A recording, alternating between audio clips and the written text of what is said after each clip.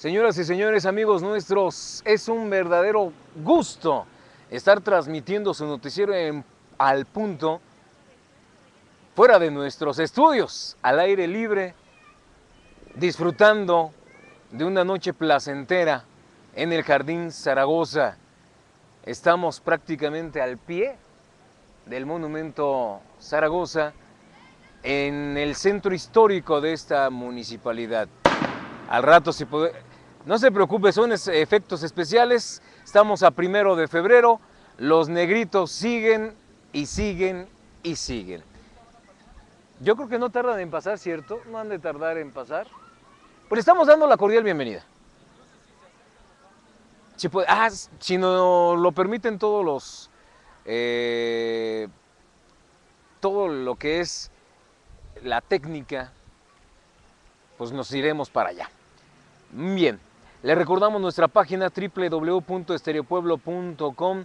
Muchas gracias por estarnos acompañando. Un saludo muy cordial a nuestro amigo el poeta Francisco Ábalos Ábalos. No sé si podamos pasar, si, si la gente se cruza no hay problema. No sé si podamos pasar eh, el comentario que nos hizo Francisco Ábalos Ábalos y si no lo dejamos para la próxima, pero le mandamos un saludo muy, muy afectuoso. y quiero arrancar precisamente con el comentario de nuestro amigo el poeta, porque ya ve que tenemos un espacio dedicado para todo tipo de comentarios, sean buenos o sean malos, y este es muy bueno. Seguramente el próximo lunes ya lo comentaremos para que vean. ¿Eh? ¿Va de nuevo? bueno, pero por ejemplo, el es Francisco Ábalos Ábalos o Francisco Ábalos, el poeta, está a través de su, de su face, Francisco Ábalos, donde hace mención de orgullo jiquilpense y en la portada o en la foto que él tomó, pues vemos un elemento de tránsito permitiendo, parando primeramente todo el tráfico y permitiendo el paso peatonal de los ciudadanos. Y él mismo escribe, nos encontramos en la bella ciudad de Jiquilpan, uno de los ocho pueblos mágicos del estado michoacano, y es admirable ver cómo elementos de tránsito y vialidad cumplen con su deber atendiendo las necesidades de la ciudadanía. Ya lo tienen, ya lo están viendo allí a través de su monitor. Y comenta, comenta más el poeta Francisco Ábalos Ábalos, compuesto por dos mandos y dos elementos, este es un ejemplo a seguir ya que al menos a su servidor no me ha tocado ver que en ninguna otra ciudad se haga esta loable acción. Enhorabuena, señor ingeniero Francisco Álvarez Cortés. Bueno, aquí nada más hay que aclarar, es arquitecto, pero se vale, quien preside la administración del Honorable Ayuntamiento 2012-2015. Un buen comentario por parte del poeta Francisco Ábalos, mejor conocido, repito, como el poeta, y pues usted está viendo en su pantalla la foto que está manejando como el elemento de tránsito para a los automotores y permite que eh, los ciudadanos crucen la calle. Estamos listos entonces que irnos con el noticiero. Nos vamos en el orden que según yo ahí lo tengo estipulado. Muy bien, agradecemos todas las facilidades por parte de nuestro jefe de piso que hace Circo Maromi Teatro repito, para estar transmitiendo completamente en vivo desde el Jardín Zaragoza. Pues vámonos con la información que tenemos el día de hoy que es muy interesante. Arrancará la COFON las ferias ambientales 2013, ya que estamos hablando del ambiente y estamos transmitiendo en un ambiente completamente más tranquilo, más agradable y no estar en el estudio. Ojalá y lo pudiéramos hacer todos los días, pero no es posible. En cumplimiento a los acuerdos tomados en el marco de la presentación del programa Escuelas en el Ambiente, desde el miércoles pasado, la Comisión Forestal del Estado arrancó en la escuela primaria Niños Héroes de la comunidad de Chiquimitío, municipio de Morelia, el ciclo de actividades denominado Ferias Ambientales, cuyo objetivo es incentivar a los estudiantes de nivel básico al cuidado y preservación del medio ambiente. Para cumplir este propósito, una brigada compuesta por instructores de la COFOM, así como de diversas dependencias estatales, acudieron a los planteles educativos en que por medio de juegos materiales didácticos y actividades diversas, mostraron a los estudiantes la importancia que tiene el bosque, destacándolo como el ecosistema. En un tercer momento, y esto se está manejando ya para el mes de abril de este mismo año en curso, se plantea organizar visitas de los estudiantes a una área natural protegida, donde se le explicará el motivo por el que existe en dicho decreto y las tareas que se llevan a cabo, así como las especies de flora y de la fauna que ahí habitan. Ejemplo de lo anterior es la participación de la celebración Los Humedales los días 7 y 8 de febrero, es decir, la semana que entra, evento en el que participa con la Secretaría del Medio Ambiente y Recursos Naturales de la Federación.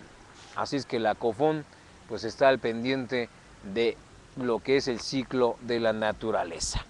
Bueno, pues ahora vámonos aquí al municipio. Continúa o continuará el plan de austeridad. En la ciudad se pretende incrementar la cifra de recaudación, así como el fortalecimiento económico de Jiquilpan, ya que se cuenta con más de 30 años que no se realiza una actualización. No hay problema. Saludamos a toda la gente que va pasando en el Jardín Zaragoza, ya que se cuenta con más de 30 años que no se realiza una actualización catastral, es que se tiene un gran rezago en este sentido. Jorge Armando Alfaro Peralta, tesorero municipal, indicó que en esta ciudad de Jiquilpan se deben recaudar al menos 41 millones de pesos al año por impuesto predial. Sin embargo, de estos apenas se alcanzarán unos 5 millones de pesos. Estimó que la actualización podrá verse concluida en el mes de febrero y para ello se realizará el trabajo con apoyo del personal debidamente equipado y capacitado para ello.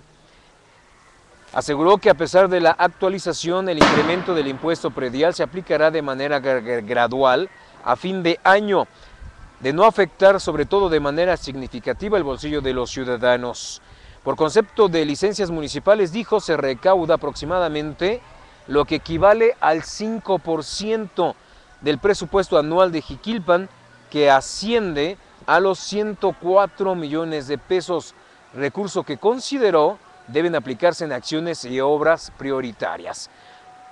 Con lo que, las, lo que es las infraestructuras de las obras se podrán dar como se tienen establecidas, así como la mejora de servicios como agua potable, alumbrado, recolección de basura, entre otros. Le estamos recordando a nuestro público, puede pasar adelante, estamos en vivo, pero no importa, para que la gente vea el caminar, para que disfrute su tierra mágica, señor amigo de esta ciudad de Jiquilpan.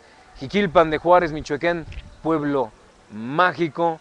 Ahorita vamos a tomar una panorámica de cómo, es más, si vemos ahí al frente en su monitor, puede ver ya lo que es toda esta festividad de lo que es los negritos. Antes duraba hasta el día 2 de febrero, ahora creo que le dan todo el mes de febrero.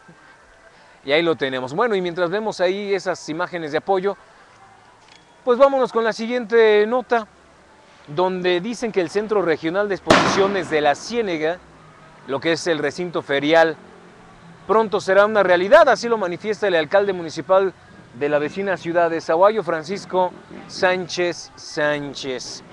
El presidente municipal de la vecina ciudad de Zaguayo, ¿desde cuándo era candidato a la presidencia municipal zaguayense? Ah, caray, están duros los cohetes. Ahí vienen ya, en la siguiente. Y no, y sí. Nuestro jefe de piso, la cámara no lo alcanza a captar, pero un servidor sí, sí ya vienen bajando lo que es Octaviana Sánchez. No sé si podamos ir para allá. Sigamos narrando la noche.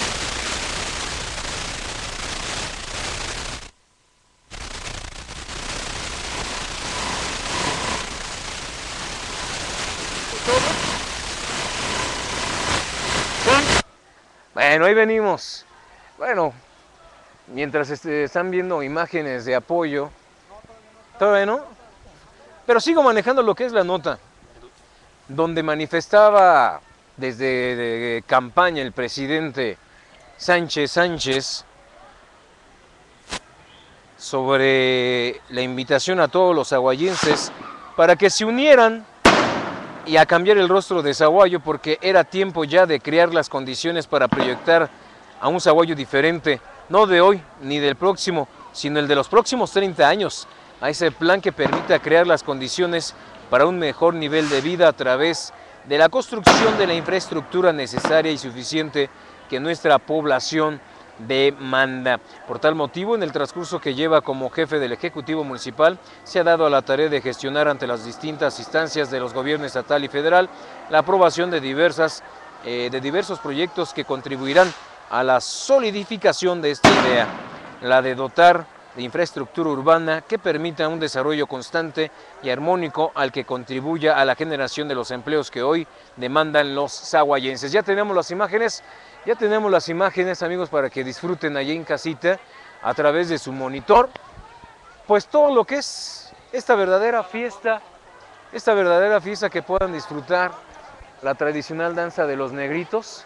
No, no quiero salir a cuadro, no, no estoy saliendo a cuadro para que vea desde su casa, a través de su pantalla. Y le recordamos, estamos transmitiendo completamente en vivo a través de la página de www.estereopueblo.com y este es su noticiero al punto. Hoy nos dimos a la tarea de irnos a la calle, transmitir el noticiero afuera. Nos encontramos con que estamos todavía en las festividades y está por pasar, si no me equivoco, es el niño de la cofradía. Efectivamente, vemos ahí las imágenes podemos, no sé si me puedan regalar unas palabras. Es que como vienen enmascarados, no sé si puedan ni hablar. Pero mientras podemos, podemos narrar. ¿Quién es el, el mayordomo? ¿No es el que nos pueda dar? El problema es de que vienen danzando, no sé si los podemos molestar o no. Sobre todo que nos hagan el comentario de qué se siente ser partícipes de toda esta festividad. Es más, sí podemos irnos con todo el micrófono a fin que capta perfectamente, perfectamente bien. Ahora aquí nada más la cuestión es de quién nos pueda facilitar unas palabras o a quién podamos... Ah, el de la camisa. Yo sé que el de la camisa nos puede ayudar. Estamos transmitiendo completamente en vivo a través de estereopueblo.com. ¿Qué nos puede comentar, amigos, sobre todas estas festividades que se llevan a cabo año con año en nuestra, en nuestra ciudad? año que tenemos aquí en esto es muy bonito y es año con año que participamos en la danza de los negros, festejando al Santo Niño Dios y mañana se termina la fiesta. Perfecto, yo sé que nada más eh, termina mañana o todavía el mes de febrero les siguen. No, ya el día de mañana se termina, allí terminamos ya. Pues gracias, gracias. Y ahí lo escucharon amigos, la danza. Es más, ¿cuántos están participando? Uh, desde niños, jóvenes y adultos. Rápidamente, 1, 2, 3, 4, 5, 6, 7, 8, 9, 10, 11, 12, 13, 14, 15, 16, 17, 18, 19, 20, 21, 22, 23, 24, 29. ¡No, hombre! Fácil, son como 50. Ahora sí estoy a cuadro. Fácil, son como 50 amigos, amigas, las que están en estos momentos participando en la danza de los negritos, en una festividad que data desde hace décadas, décadas atrás. Y como lo acaban de escuchar hace unos momentos, pues termina, culmina el día de mañana. Me imagino que por eso están participando, si no es que todos, la mayoría de los que son integrantes de lo que es la danza de los negritos. Y como pueblo mágico, como pueblo mágico es una de nuestras características que vamos a dar a conocer al Estado, a nuestro país y al mundo entero. Sobre todo un saludo muy cordial para nuestros amigos allá en Santana, California, en lo que es en Miraloma, lo que es en Inglewood. No se diga en toda la Unión Americana. En el Distrito Federal también tenemos muchos amigos que nos acompañan. Tenemos en Japón, no sé, pero tenemos también muchísimos amigos allá en Japón. Es más, voy a dejar tantito el audio al fin que se alcanza a captar perfectamente bien. Y si no, me voy a un lado de los mariachis para que alcancen a escuchar la música la música que se toca en la danza de los negritos. Si se alcanza a escuchar todavía el micrófono, ¿verdad? Sí. Sí se alcanza a escuchar. Bueno, aquí van pasando ya. Ya no alcanzamos a agarrar nada de música. Pero ahí están los cohetes. Los cohetes que van indicando lo que es el paso. Y escuchen cómo bufa el torito. Eso. Un bofido de torito. Eso. ¿No se cortó la transmisión? No, estamos bien. Fácil, son más de 50 entre jóvenes, adultos y niños que están siendo partícipes. Y vamos para que escuche el sonido ambiental, la música que se escuche.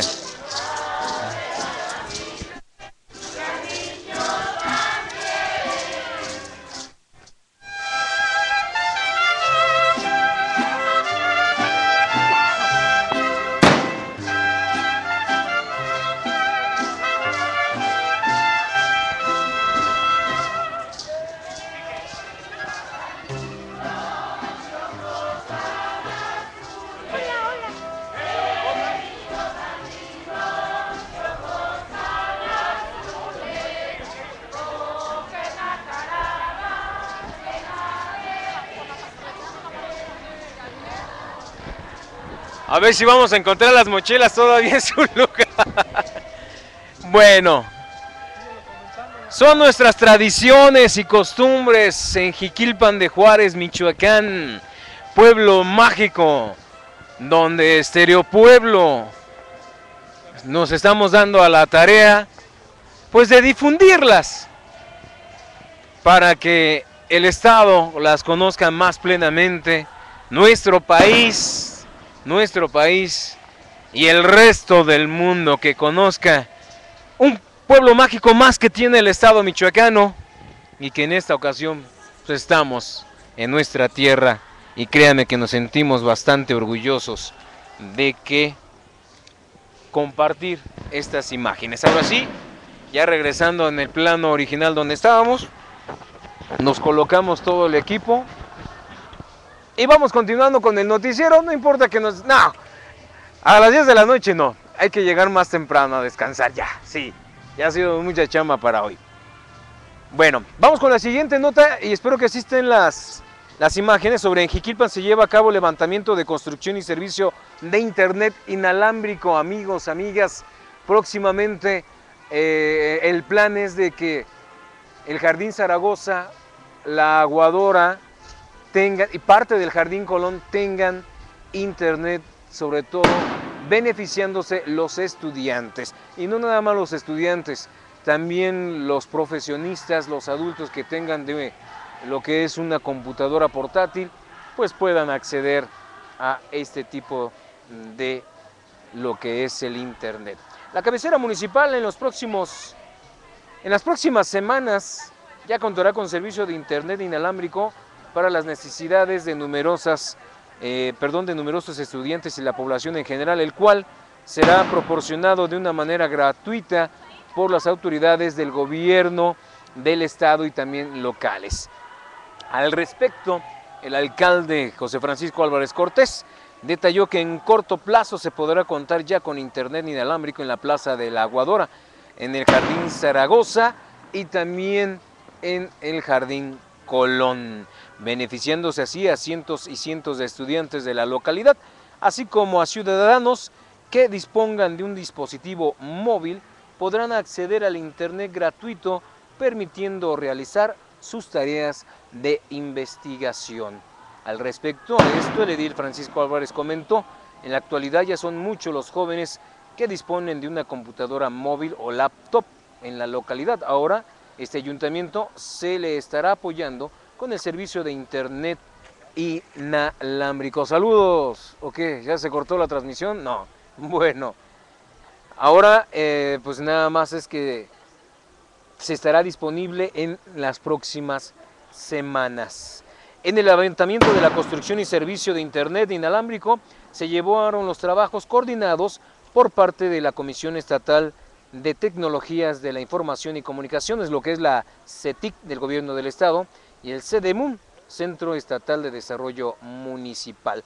En el mencionado levantamiento de estas acciones hicieron presentes el ingeniero Sergio Serrano Marín, y el licenciado Benjamín eh, Ramírez Mateos de la empresa PROIT, Procesos de Integración Tecnológica, quienes señalaron que después de este levantamiento se tiene todos los puntos a cubrir por parte de la municipalidad y que durante los meses eh, o semanas ya venideros se aterrizará la red inalámbrica en los sitios ya señalados. Así es que próximamente a los jóvenes, a todas las personas que gustan venir a la plaza, al Jardín Colón, al Jardín Zaragoza, en la esplanada de la Aguadora, disfrutar de este ambiente muy acogedor, pues a los que amamos y estar siempre conectados a lo que es la información, pues ahí podrán tenerlo a través de su red móvil. Puede pasar, no hay problema, estamos en vivo, pero saludamos. Vámonos con la siguiente información, si estamos listos. No sé si la tengo. No, no quieren salir todavía en la tele. Sí tenemos imágenes de nuestro compañero, ¿no? Tras 45 años, 44 años de servicio. Sí la tenemos. ¿Quién diría que 44 años se dicen fáciles, pero 44 años es toda una trayectoria y al servicio de la municipalidad?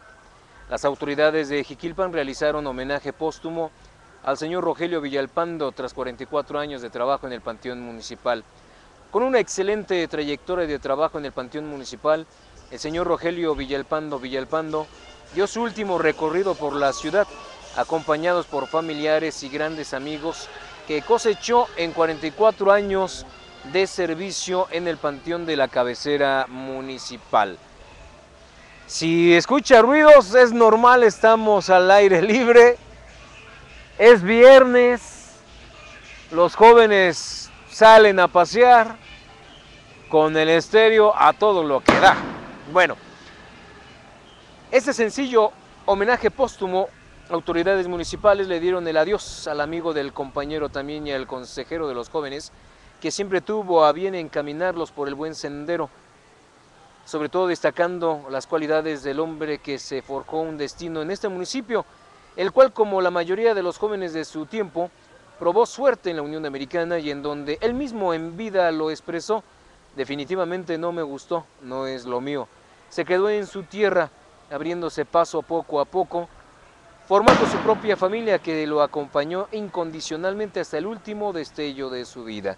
Las autoridades locales manifestaron su sincero pésame a los familiares, destacando la gran labor de desempeño como trabajador al servicio de la municipalidad, trabajando siempre con la responsabilidad eh, solidarizándose sobre todo con los miles de dolientes que vio a lo largo de su trayectoria. Como trabajador del Panteón, los funcionarios municipales también realizaron guardia de honor para despedir a don Rogelio Villalpando Villalpando y estando presentes los directivos de Presidencia, Oficialía Mayor, Atención Ciudadana, Comunicación Social, Panteón y de la propia Secretaria General de Trabajadores Sindicalizados al servicio del Ayuntamiento. Así es que pues se le dio el adiós como se merece al amigo. 44 años, se dicen fáciles, pero créanme que 44 años es toda una vida. Bueno, ¿cuántos pienso vivir? Por lo menos 100 años. ah, años cumplir de trabajo, no sé, ya llevo del 87 para acá. Los de aquí no cuentan. Bueno, en días pasados yo creo que la gran mayoría de los automotores se dieron cuenta que hubo un operativo sorpresa, pero lo curioso es que nada más agarraban a, cierto tipo de marcas, no sé si les habían pasado algún reporte, y estoy hablando de marca japonesa. Pues, total, ¿verdad? Los Urus, luego les mandamos la factura a Nissan Saguayo, pero ya no hay. ya no hay. Bueno, Aquí en la Ciénega, y en caso concreto entre Zaguayo y Jiquilpan, en diferentes comunicados y, también en diferentes comunidades de la Ciénega de Michoacán, policías ministeriales realizaron un operativo sorpresa con la finalidad de recobrar vehículos y motocicletas con reporte de robo, detectar a personas sospechosas que tengan orden de aprehensión o individuos armados o con drogas. Las movilizaciones fueron ejecutadas en las entradas y salidas de las ciudades y pueblos donde se montaron retenes de la ministerial. Así se revisaron diversos automotores a los cuales se les checaron antecedentes vehiculares, mientras que a sus ocupantes se les examinó si se tenían antecedentes penales o no. Las autoridades indicaron que estos dispositivos continuarán en todo el estado y serán de manera sorpresiva. Así es que yo le aconsejo, cargue lo que es la documentación, lo que es el famoso permiso, ya no es tarjeta de circulación, ahora es la credencial de circulación y su, tarjeta de... No lo sé si los vayan a revisar o no, pero mira, los mexicanos tenemos tan buena o tan mala suerte que cuando no cargas los documentos es cuando te toca revisar. Y cuando traes tus documentos en regla, ni quien te moleste. Así es que yo lo exhorto que traiga su credencial del vehículo, su credencial de identificación del vehículo, sobre todo también su permiso para conducir para no irse con más problemas. Bueno, esta es una muy buena nota que se generó por parte del gobierno del estado. Reciben 77 empresas distintivos de calidad en sus servicios. En su primera entrega de 70 distintivos de calidad M de modernización en los servicios y 7 distintivos H de higiene en los procesos de elaboración de alimentos, Michoacán afianzó, amigos, amigas, el cuarto lugar nacional en empresas capacitadas, aseveró el secretario de Turismo del Estado, Roberto Monroy García. En programa de modernizar es un esquema de capacitación que facilita a las MIPIMES al incorporar prácticas administrativas modernas y herramientas efectivas en su forma de operar que les permitan mejorar la satisfacción de sus clientes. ¿Eh? Qué bueno, saludamos a nuestros usuarios conectados y si se darán cuenta, estamos completamente transmitiendo desde el Jardín Zaragoza. Prácticamente estamos al pie del monumento del mismo. Y en la parte de atrás tenemos Palacio Municipal y una imagen de lo que es la Fajardo con la Octaviana Sánchez.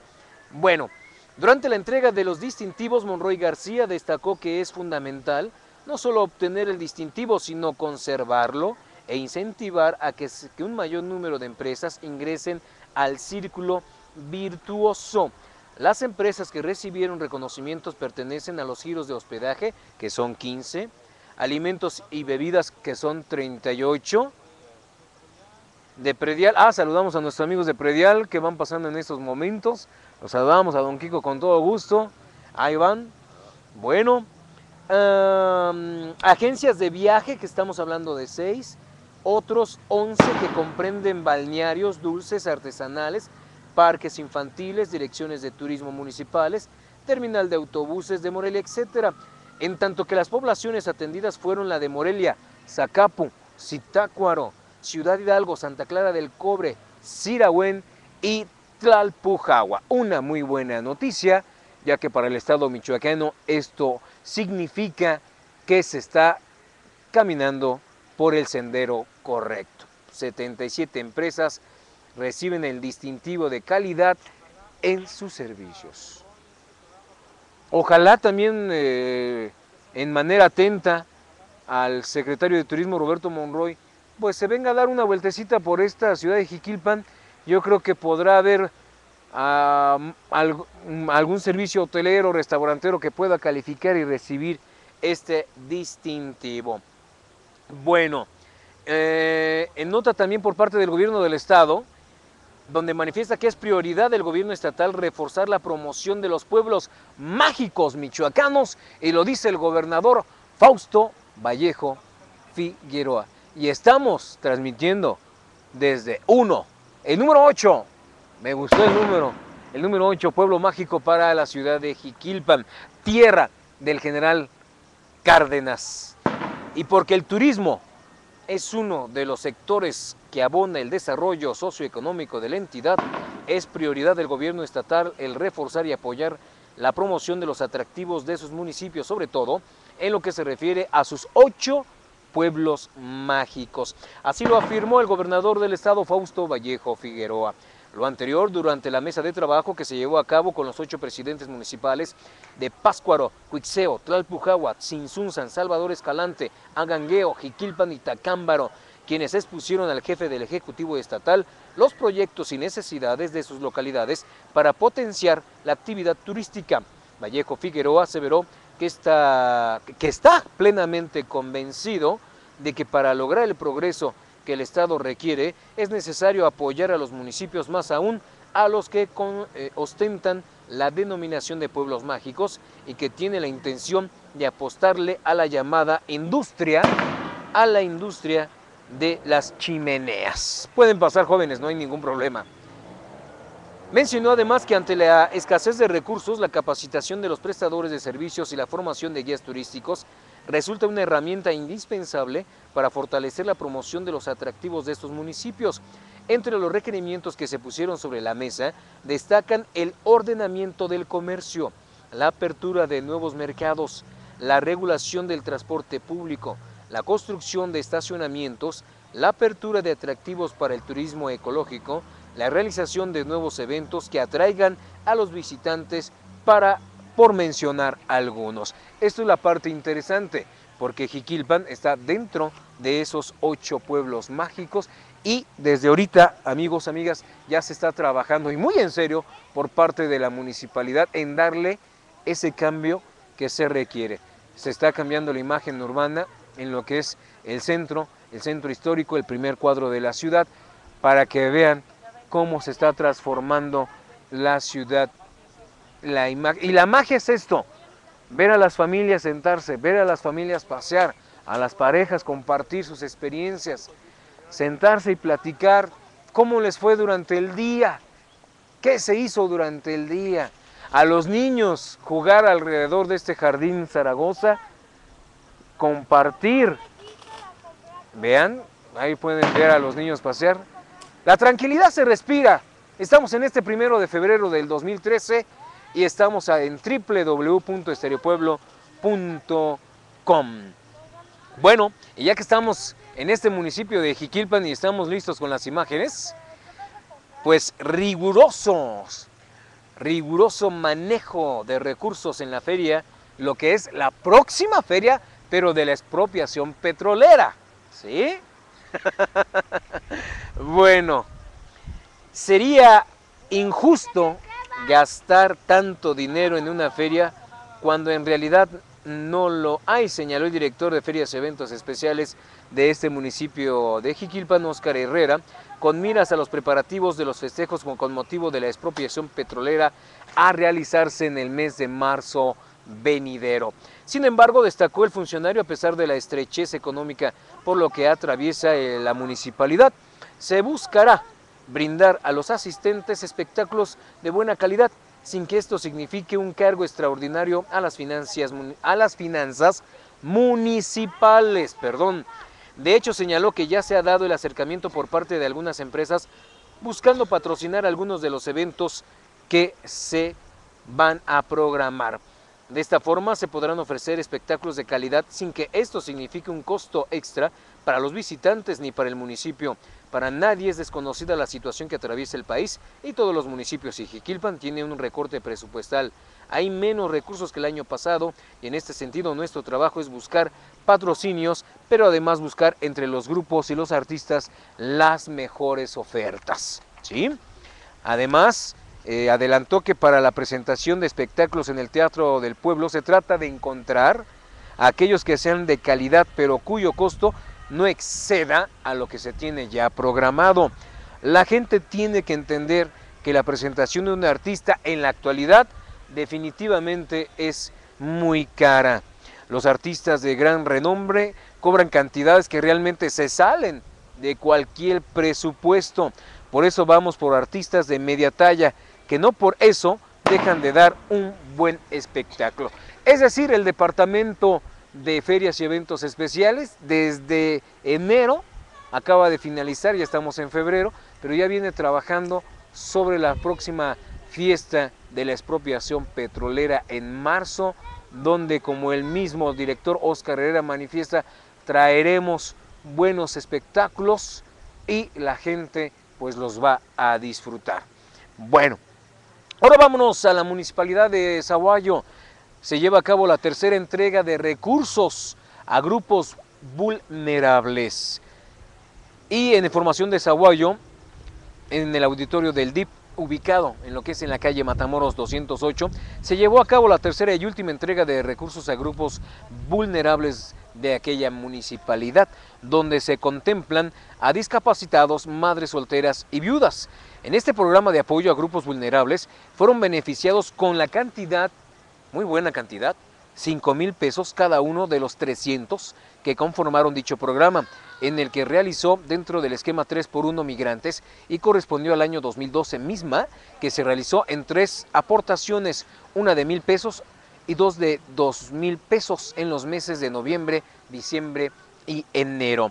Los programas asistenciales vienen siendo de suma importancia para la administración que encabeza el ciudadano Francisco Sánchez Sánchez, quien ha logrado llevar satisfactoriamente a las familias de escasos recursos eh, de la cabecera municipal, de las comunidades pertenecientes al municipio, como lo son el 70 y más, programa nutricional del adulto mayor, estufas ecológicas, ampliación de vivienda rural, programa Hábitat, escuela municipal de Zumba, piso firme, lo que son becas estudiantilas al mencionado apoyo a grupos vulnerables, todos ellos puestos en marcha por la Dirección de Desarrollo Social a cargo del licenciado Marco Vinicio Ávila Sánchez. Así es que fue la tercera entrega y la última de los recursos entregados a los grupos vulnerables, los cuales ya señalamos. Bueno, continuando con más información, estamos en su noticiero al punto y estamos transmitiendo en vivo, en vivo completamente desde el Jardín Zaragoza. ¿Cómo está saliendo la señal? Excelente. Ojalá lo pudiéramos hacer siempre, pero no, créame que sí es bastante complicado. ¿Con bocinas? Ah, con patrocinios. ¡Ah, cierto! Cierto, con patrocinios, ¿por qué no? Es más, invitamos a aquellos comerciantes que quieran patrocinar este tipo de eventos. Con gusto saldremos a la localidad, a su mismo negocio, para que pasemos este espacio informativo en vivo y por supuesto, de paso, pues anunciar su negocio. Así es que esta es la magia. Mayores informes al 353-104-9999 y al 353-111-3081. En nuestras páginas ahí pueden acceder. Con gusto vamos a su negocio para visitarlo. Bueno, y casi estamos llegando al final, ¿verdad? Ya nada más tenemos visita el titular de la Secretaría de Desarrollo Agrario Federal al gobernador Fausto Vallejo Figueroa. Y es la segunda ocasión lo que es un secretario de Estado visita a la entidad. Eso que, indica, pues nos indica que hay cierta relación. Es a nivel federal. ¡No! No sé cuántos secretarios serán. es más, que vengan aquí a este pueblo mágico. Bueno, Aquí lo estamos esperando. El gobernador del estado Michoacán, Fausto Vallejo Figueroa, recibió en Casa de Gobierno al titular de la Secretaría de Desarrollo Agrario, Territorial y Urbano Federal, Jorge Carlos Ramírez Marín, con quien pueden pasar, no hay ningún problema, con quien estableció una mesa de trabajo a fin de consolidar proyectos productivos en pro del desarrollo de la entidad. En este encuentro se habló de asuntos relativos a la regularización de ejidos y zonas urbanas, así como de las tareas que pueden emprender juntos Estado y Federación para atender dichos temas. Durante esta reunión el gobernador Vallejo Figueroa celebró que en tan solo una semana dos secretarios de Estado visiten a Michoacán, lo que demuestra el interés del gobierno federal en consolidar acciones conjuntas que den respuesta a las necesidades de todos los michoacanos mientras que el secretario de la SEDATU, Jorge Carlos Ramírez, informó que establecerán un contacto directo con los titulares de, la con los titulares de las secretarías de Desarrollo Económico, de Política Social y de Turismo del gobierno estatal, con el objetivo de construir proyectos productivos que resulten en un mayor desarrollo socioeconómico de la entidad, sus regiones.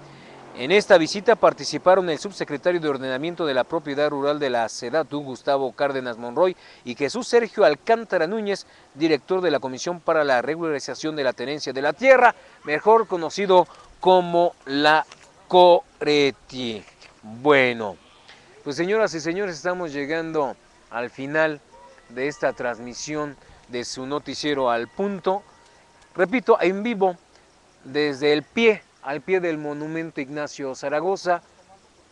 No lo podemos tomar porque la luz, ahora sí que aprovechamos la luz del farol para hacer, para hacer en vivo este programa. En lo futuro podremos hacer un evento especial en la tarde que hay luz y enfocarlo. Se vería muy oscuro. Si hacemos una toma, una toma sí se vería muy oscuro. Pues nosotros lo invitamos, sobre todo usted amigo amiga que tiene un negocio, podemos hacer un paquete muy especial para anunciarlo y si le interesa que transmitamos desde su mismo negocio, también lo podemos platicar nos puede llamar con gusto al 353-111-3081 o al 353-104-9999. Síganos a través de nuestra página en el Facebook, SRTV Jiquilpan, también a través de... ¿Sí es así? Ah, es al revés. Bueno, Facebook, Jiquilpan SRTV. Tengo memoria de elefante. bueno, también a través de mi correo, su servidor ochoa dos veces, arroba hotmail.com repito una vez más, nuestro Facebook Jiquilpan SRTV. Gracias por habernos acompañado. Créame que se siente completamente distinto hacer un programa en vivo y fuera de las instalaciones. Ahora ya entiendo al teacher Joaquín López Dóriga cómo se siente cuando está transmitiendo afuera. No se diga este a la torre que también le gusta salir a las calles a transmitir. No, yo soy Arturo Ochoa, gracias por habernos acompañado, agradecemos todas las facilidades técnicas a nuestro jefe de piso, que tenga usted una placentera noche y desde estas imágenes, Ejiquilpan de Juárez, Michoacán, tierra mágica, tierra del general Cárdenas, lo invitamos a que, más que bueno, fue breve porque estamos fuera pero lo invitamos a que disfrute su fin de semana, que descanse, buenas noches. Y si no pasa nada, nos vemos el próximo martes. Usted está debidamente bien informado. Lo demás, lo demás viene detrás, desde el Jardín Zaragoza. Noticiero al punto. Gracias por habernos acompañado.